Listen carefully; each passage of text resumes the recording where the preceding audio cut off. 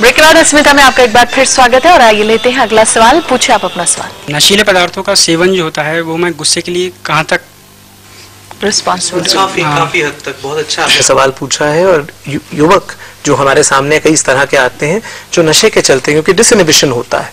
Intoxicants हैं, दिमाग के ऊपर असर डालते हैं, रासायनिक पदार्थों पर असर डालते हैं। कई बार लोगों को अजीबोगरीब अनुभव होने लगते हैं उस दौरान, और आप देखेंगे कई रोडरेज के केसेस ऐसे हैं, जहाँ पर शराब के चलते आप गाड़ी चला रहे हैं, और आप अपने आपा खोते चले जा रहे हैं, वो आपके लिए भी डेंजरस है, सामने वाले के लिए भी डेंजरस है। इसी तरह से अफीम से जुड़े जो नशे हैं, वो भी कहीं ना कहीं आपके दिमाग का संतुलन बिगाड़ते हैं। कैनबिस आजकल बच्चों में हम बहुत देखने लगे हैं जो जो भाँग से रिलेटेड नशे हैं, वो भी कहीं ना कहीं दिमाग के संतुलन को काफ़ी हद तक बिगाड़ सकते हैं। अगला एक सवाल। मेरा क्वेश्चन मीनाक्षी मैम से मैम कुछ केसेस में देखा जाता है कि जो बच्चे होते हैं वो कुछ क्रिमिनल्स वर्क कर, कर बैठते हैं। तो क्या कानून उनको सजा देता है और देता है तो फिर किस हद तक उनको सजा देनी चाहिए? देखिए. हमारे यहाँ जो कानून है हमने एक UN treaty child protection right वाली साइन की हुई है जिसके तहत जुवेनाइल जस्टिस एक्ट के तहत उन बच्चों को रिमांड होम्स वगैरह में रखा जाता है और कोशिश की जाती है सुधारने की। लेकिन वहीं पर यूएस के अंदर ऐसा नहीं है, जो कुछ तरीके के क्राइम है, जैसे रेप है या मर्डर है या इस तरीके की जो चीज़ें हैं, उनको उन्होंने उससे बाहर रखा हुआ है। और उनको ये कह, उनका ये मानना है कि जहाँ पर क्राइम इस नेचर का अगर कोई बच्चा कमिट कर रहा है तो एट पार मतलब 16 18 में क्या फ़र्क है, वो बराबर की मेच्योरिटी वाले और सिमिलरली ट्रीट किया जाना चाहिए। और उन देशों के अंदर जो कानून का जो तरीका है, वो उसको बिल्कुल स्ट्रिक्ट इम्प्लीमेंटेशन वाला है। चलता है एम्पथी है सिंपथी है, ऐसा नहीं है। ये कानून कहता है और आपको इसका पालन करना है। उसमें फिर सोच विचार वाली बात नहीं है। हमारे यहाँ थोड़ा सा सॉफ्ट रवैया है। मैम अनएम्प्लॉयमेंट और मेंटल प्रेशर्स की वजह से किस हद तक गुस्सा आता है? मतलब और क्यों आता है और कैसे कंट्रोल किया जा सकता है उसे? बहुत बढ़िया। दोनों पॉइंट्स जो आपने उठाए, बहुत इंपॉर्टेंट फैक्टर्स हैं गुस्से के। जैसे हमने कहा कि हमारे एक एम है लाइफ में, हम कुछ पाना चाहते हैं। आदमी पढ़ाई करता है नौकरी पाने के, लेकिन आज की दौर के अंदर अनएम्प्लॉयमेंट इतनी ज़्यादा है, वो अचीव ना कर पाना, जो परिस्थितियाँ उसके आउट ऑफ़ कंट्रोल हैं पढ़े लिखे होने के बावजूद नौकरी नहीं मिल रही तो ऑटोमेटिकली उस परिस्थिति पे गुस्सा आता है, खुद पर गुस्सा आता है, भगवान पे गुस्सा आता है, हर चीज़ पर गुस्सा आता है। और ये जो चीज़ें हैं, ये अल्टीमेटली उसके वो जो आज एक वो है कि जल्दी से जल्दी किसी चीज़ को अचीव करना, वो तो मिल ही नहीं रही है। तो इसका वही तरीका है अगेन कि ये देखना कि हमें नौकरी क्यों नहीं मिल पा रही? क्या हमारी पढ़ाई उससे रिलेटेड नहीं है, या हमें कुछ और भी एडिशनल करने की ज़रूरत है तो एक इंसान को अपनी, अपने आप को नापने तोलने की ज़रूरत है। और उसको करने के बाद, अगर सब कुछ होने के बावजूद कुछ नहीं मिल रहा है, एक हमारा बहुत इम्पोर्टेंट हमारी ज़िंदगी में रिलीजन नाम की चीज़ है, जिसे हम काफ़ी हद तक कई लोग भूलते चले जा रहे हैं। रिलीजन के अंदर एक इतना बड़ा सपोर्ट इंसान को मिलता है, क्योंकि मोस्टली धर्मों ने कहा है, काम, क्रोध, अहंकार, लोभ, इससे हट, हटकर एक आदमी तभी आगे बढ़ सकता है। तो रिलीजन का एक सपोर्ट जो है, एक आस्था, एक उम्मीद, ज़्यादातर हम लोग तब गुस्सा होते हैं जब हम उम्मीद खो बैठते हैं कि अब कुछ नहीं होने वाला। सब कुछ परिस्थिति मेरे हाथ से निकल चुकी तो हमें हर आस पड़ोस पे पिता है तो बच्चे पर गुस्सा निकालेगा पति है तो पत्नी पे गुस्सा निकालेगा माँ है तो बच्चे पे गुस्सा निकालेगी। तो कहीं ना कहीं ये चीज़ें जो हैं ये हमें हेल्प करती हैं कि हम अपने गुस्से को कुछ हद तक कंट्रोल कर सकें। जी लीजिए सवाल। सर मेरा सवाल समीर सर से है। सर जैसे अक्सर देखने में आया है कि गुस्सा इतना ज़्यादा इंसान को आ जाता है कि वो तोड़फोड़ मचाने लगता है एब्यूज करने लगता है हाथ उठा देता है दूसरे के ऊपर। तो क्या सर हम इसे मानसिक बीमारी माने? देखिए, ऐसा है कि डिपेंड करता है कि कितनी बार ऐसा होता है, क्या परिस्थितियाँ हैं, और कहीं ऐसा तो नहीं कि वो व्यक्ति किसी मूड डिसऑर्डर से ग्रस्त है, कहीं ऐसा तो नहीं कि उस व्यक्ति का जो स्वभाव है उसमें इम्पल्स कंट्रोल प्रॉब्लम्स हैं, यानी वो अपने आप पर अंकुश, अपने आप पर कंट्रोल नहीं कर पाता है। और यदि ऐसा कुछ हमें दिखता है उस व्यक्ति के अंदर तो फिर हाँ वो मानसिक बीमारी है। पर यदि वो केवल एक बार ऐसा हुआ और उसके पीछे हालात ऐसे रहे जिसके चलते उसका गुस्सा निकला है तो हम कहते हैं कि ये बीमारी नहीं है। पर उसको पूर्ण कॉन्टेक्स्ट के अंदर समझने की आवश्यकता है उस गुस्से को। और दूसरी बात यहाँ पर यह भी ज़रूरी है, बीमारी के साथ साथ किस प्रकार का एनवायरमेंट है उस इंसान का। क्या उसके पास और तरीके हैं उस गुस्से को सामने रखने के? क्या वो चैनलाइज कर पा रहा है? कहीं उसका कंट्रोल मैकेनिज्म तो नहीं फेल हो रहा है? ये सब चीज़ें इसके साथ जुड़ जाती हैं। और कितने लोग हैं समीर जी जो आ, मतलब कितना ज़रूरी है आज के दौर में मेंटल हेल्थ पर अब ध्यान देना? बहुत अधिक मुझे लगता है जैसे केवल हम मेंटल डिसऑर्डर्स या उनके इलाज की बात नहीं करते आज की डेट पे, आज हमें लगता है जो नीड ऑफ़ द आर है, उसमें प्रिवेंटिव साइकाइट्री भी एक बहुत इंपॉर्टेंट रोल अदा कर रही है और करेगी आगे चलकर। क्योंकि कहीं ना कहीं कुछ सिचुएशन से बचा जा सकता है। कई बार लोग काफ़ी इस तरह की परिस्थितियों में आ जाते हैं, जहाँ उन्हें दुख भी होता है कि हमने ऐसा क्यों किया है। उनसे बचाव किया जा सकता है। जैसे बात हुई, नशे की बात हुई। कई बचपन से लेके बड़े होने तक कई ऐसे डिसऑर्डर्स हैं जो अनरिकॉग्नाइज चले जाते हैं नहीं लोग समझते हैं। कई बार डाइवोर्स तक की नौबत आ जाती है हस्बैंड वाइफ ये नहीं समझ पाते हैं कि दूसरे व्यक्ति को एक मूड डिसऑर्डर है या इम्पल्स कंट्रोल प्रॉब्लम है। इन चीज़ों के आज इलाज उपलब्ध है। ज़रूरत है उसे समय पर समझने की और वो इलाज करने की। साथ साथ मुझे लगता है मॉरल एजुकेशन की आज बहुत ज़रूरत है। पेशेंस टॉलरेंस फॉरगिवनेस ये सब वर्चूज हैं जिनकी मुझे लगता है आज बहुत ज़रूरत है। एसेशन की भी ज़रूरत है। केवल दब जाना भी मुझे लगता है बार बार वो भी कहीं ना कहीं एक एंगर को जन्म देता है। एक आखिरी सवाल है पूछे मैडम मेरा सवाल तस्नीम मैडम से है। गुस्सा किस हद तक शरीर को इफ़ेक्ट करता है? मेरे ख्याल में अगर डॉक्टर साहब से ये सवाल पूछा जाता तो ज़्यादा अच्छा था। पर अ, बहुत हद तक क्योंकि आपकी देखिए आपका दिमाग और आपकी बॉडी जो है वो कहीं ना कहीं लिंक्ड है। और आपका जिस तरह से आपका दिमाग काम कर रहा है वो कहीं आपकी बॉडी के ऊपर भी काम करता है। और अगर देखें आप तो आप किसी आपकी थॉट की वजह से गुस्सा है कि मैं कंट्रोल में नहीं हूँ या मुझे अ, कुछ इस तरह की परेशानी है जिसमें मैं मेरी बात सुनी नहीं जा रही है या मेरी खुददारी के ऊपर कुछ असर आया है। तो इस तरह से क्या होता है कि आपकी बॉडी जो है वो एक डिफ़िकल्ट सिचुएशन को रिस्पॉन्ड करने के लिए वो अपने आप को तैयार करती है। और बॉडी तैयार कैसे होती है कि आपका हार्ट ज़्यादा ब्लड पंप करेगा ज़्यादा तो वो दिल धड़केगा।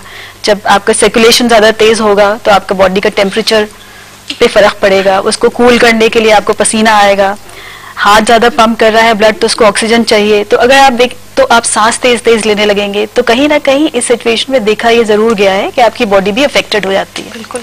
और उस बॉडी को कंट्रोल करने के लिए कुछ तरीके हैं हम लोग के साथ हम लोग इस्तेमाल करते हैं कुछ रिलैक्सेशन एक्सरसाइजेस हैं जिसको हम सिखाते हैं जिससे कि सब, सबसे पहले तो आपके बॉडी रिलैक्स हो जाएगी और आप जब कंट्रोल महसूस करने लगेंगे अपने आप को तो फिर आप अपनी थॉट्स के ऊपर काम कर सकते हैं। फिर आप सिचुएशन को शायद ज़्यादा अच्छे से समझ पाएँगे कि क्या चीज़ है जो मुझको गुस्से में ला रही है क्या चीज़ है जो मुझको गुस्सा दिला रही है और इस वक्त मैं किस तरह से रिस्पॉन्ड करूँ क्या चीज़ मेरे लिए ज़्यादा फ़ायदेमंद होगी और क्या चीज़ मुझे नुकसान पहुँचा सकती है। जी लीजिए सवाल। मेरा सवाल आप सभी लोगों से है। जैसे कि मैम ने बताया कि गुस्सा काफ़ी पुराने टाइम से, ऋषि मुनियों के टाइम से चला आ रहा है और गुस्सा आज भी चल रहा है। तो मैं ये पूछना चाहूँगा, आज के टाइम में हर इंसान को गुस्सा आता है। तो गुस्सा रोकने के लिए हम क्या कर सकते हैं सडनली एक तो उस सिचुएशन से हट जाना बहुत ज़रूरी है, क्योंकि इंसान उस समय, उसी समय एक सिचुएशन को सॉल्व कर लेना चाहता है कि मेरी बात सुन ली जाए। दूसरा, यदि उसके साथ कोई बैठे हैं, उसकी बात को सुने ज़रूर। उसे काटते ना चले जाएँ, क्योंकि उसका गुस्सा फिर और बढ़ता जा रहा है। तीसरा, कहीं ना कहीं डिस्ट्रैक्ट करें खुद को, जैसे कहा, गिनती गिने उल्टी। जब आप उल्टी गिनती गिनते हैं तो अपने माइंड को डिस्ट्रैक्ट कर रहे हैं।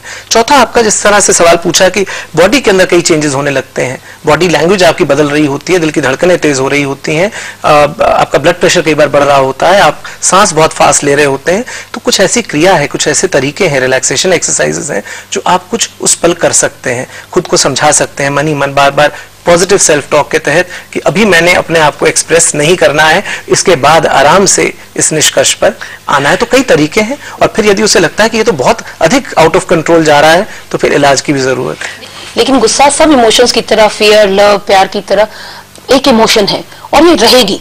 हम जैसे कह रहे हैं सदियों से रही है, अभी भी रहेगी और आने वाले समय में भी होगी। जैसे हमने कहा, इसको चैनलाइज कैसे करना है, इसको संभालना कैसे, वो ज़्यादा ज़रूरी है। गुस्सा होना बहुत ज़रूरी है। जैसे हमें कहावत है कि spare the stake can spoil the brat मतलब अगर बच्चे को आप बिल्कुल खुला छोड़ देंगे, डांटेंगे नहीं डपटेंगे नहीं तो कई बार, कई परिस्थितियों में हमें गुस्सा करना भी ज़रूरी है। लेकिन किस हद तक, कितना ज़्यादा, किससे कहाँ तक और वो ज़रूरी है उसको मैनेज करना बहुत ज़रूरी है बिल्कुल अगर चलते चलते मैं जी हाँ बात हाँ। चाहूँगी कहीं ना कहीं हमें दूसरे का भी ध्यान रखना है कि मैं मेरा तो गुस्सा है पर दूसरा भी कि उसकी भी कुछ डिग्निटी है उसकी भी कुछ वर्थ है। एक दूसरे तो, की इज़्ज़त का ख्याल रखें लेकिन अगर चलते चलते मैं आप लोगों की आखिरी राय ले लूँ कि जो हमारी ज़िंदगी है इसे पूरी खुशियों का सरमाया बनाकर अगर हम जिए और गुस्से को बिल्कुल एक तरफ़ कहीं पीछे छोड़ दें तो क्या कहना चाहेंगे? कोशिशें क्या हों? कैसी हों? खासकर जो हमारी आज की फैमिली है उसके लिए। देखिए डिफरेंसेस ऑफ़ ओपिनियन तो हमेशा थे लोगों के बीच में और हमेशा रहेंगे चाहे वो कोई भी रिश्ता है। पर to be able to to learn how to agree to disagree is also an art और मुझे लगता है अपनी बात को किस प्रकार से तरीके से सलीके से सामने रख पाना ये भी एक कला है जो कहीं ना कहीं हमें इनकलकेट करनी है। और गुस्सा जैसे कहा एक नेचुरल इमोशन है पर कहीं ना कहीं वो क्या रूप इख्तियार कर रही है उस पर कंट्रोल की आवश्यकता है। मीनाक्षी मैं अपनी ना हिस्ट्री और कल्चर की तरफ़ रुख करना चाहूँगी। और कहीं ना कहीं मुझे लगता है कि इन सब तमाम बातों का जवाब वहाँ पर है। जब हम एक्सटर्नल लाइफ की तरफ़ ज़्यादा ध्यान देते हैं और आत्मा या इंटरनैलिटी की इंटर, इंटरनल जो हमारे एस्पेक्ट्स हैं एस्पिरेशंस हैं उनको पीछे छोड़ देते हैं। हमारे लिए मटेरियल चीज़ें ज़्यादा ज़रूरी है। मटेरियल किसी भी तरीके की पोजीशन प्लेस मनी गाड़ी औदा वो जब ज़्यादा ज़रूरी हो खूबसूरती इस तरीके की चीज़ें जब हमारे लिए ज़्यादा ज़रूरी हो जाती हैं तो एक्सप्रेशन ऑफ़ एंगर भी खराब होता है। अगर हम internal beauty internal goodness internal culture cultural civil उस तरीके की चीज़ों पर ध्यान दें आपकी आत्मा क्या कहती है उस तरफ़ ध्यान दे तो कहीं ना कहीं जो चैनलाइजेशन है गुस्से की वो पॉजिटिव होगी। बहुत अच्छी बात बात सिर्फ़ क्या कहेंगे? देखिए इसमें सही और गलत का जो मापदंड है मापदंड है कई सालों से हम देख रहे हैं मापदंड काफ़ी चेंज होता चला जा रहा है। तो अपने गुस्से का जो डिस्प्ले होता है जो एंगर होता है सब कुछ होता है हम इस मापदंड के दायरे से बाहर निकल जाते हैं। जो पहले सही होती थी आज लोग उसको सही नहीं मानते हैं। जो पहले गलत थे आज उसको सही मानते हैं। तो बाउंड्री के बाउंड्री बढ़ती चली जा रही है। तो उस चक्कर में एक ह्यूमिलेशन होता है एक किसी की डिग्निटी को अटैक करना सेल्फ रिस्पेक्ट को अटैक करना ये बढ़ता चला जा रहा है। क्या कहेंगे? मुझे लग रहा है गुस्सा जैसे सब लोग कह रहे हैं एक बहुत ही नॉर्मल एक नेचुरल एक एक्सप्रेशन है एक इमोशन है। पर अ, मुझे ये लगता है कि अगर हमें कम्युनिकेट करना और एक्सप्रेशन और कम्युनिकेशन जो है वो बहुत इम्पोर्टेंट है। क्योंकि जब हम किस अगर अपनी बात को नहीं कह पाएँगे एक दूसरे से तो वहाँ गलत फहमियाँ होने के भी चांसेस ज़्यादा हैं और वहाँ पे फ्रस्ट्रेशन होने के भी चांसेस ज़्यादा हैं। तो इसलिए Communication gap ना communication आने दे, बहुत बहुत इम्पोर्टेंट मैं कहना चाहूँगी कि एक स्वच्छ एक तंदुरुस्त माइंड ही एक तंदुरुस्त बॉडी के अंदर तंदुरुस्त बॉडी के अंदर रहता है। तो हमें अपने बॉडी और माइंड दोनों को तंदुरुस्त रखने की ज़रूरत है।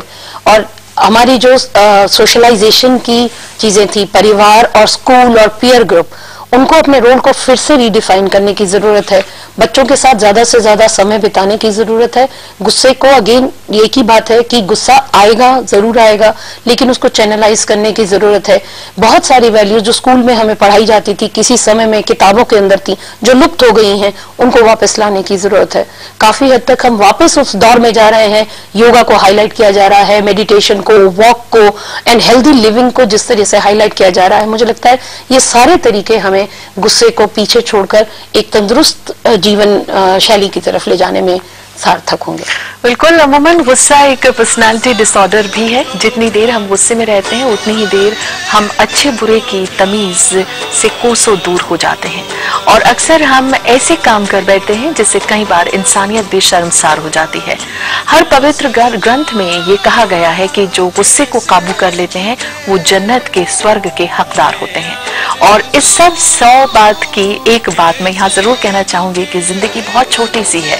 इसे हँसते खिलखिलाते गुजारिए, अपने और अपनों के बीच और अपनी ज़िंदगी में इन कड़वे लम्हों को कभी भी नहीं आने दीजिए। और अपनी हार की वजह से दूसरों की ज़िंदगी से खेलना इंसानियत की बात तो नहीं है। वो किसी ने क्या खूब कहा है कि जाम खुशी से दिल में खुशी और बढ़ा ले। जाम खुशी से दिल में खुशी और बढ़ा ले, पैमाना ख्वाहिशात का कुछ और घटा ले। इसी के साथ मैं अपने सभी पैनलिस्ट का बहुत बहुत शुक्रिया अदा करती हूँ कि वो यहाँ आए और इस चर्चा का हिस्सा बने आपका शुक्रिया ऑडियंस का शुक्रिया कि आपने बहुत अच्छे सवालों का दौर जारी रखा। आप भी आ सकते हैं अस्मिता में, कीजिए हमें ईमेल हमारा ईमेल आईडी है Asmita dot L S T V at the rate of Gmail dot com यहाँ हमें ये भी ज़रूर लिखें कि आप और कौन से विषयों को अस्मिता के माध्यम से देखना चाहते हैं, हमें आपके ईमेल्स का इंतज़ार रहेगा। इसी के साथ मैं समीना अस्मिता की पूरी टीम के साथ आपसे लेती हूँ इजाज़त। फिर मिलेंगे एक और नए विषय के साथ। तब तक के लिए नमस्कार।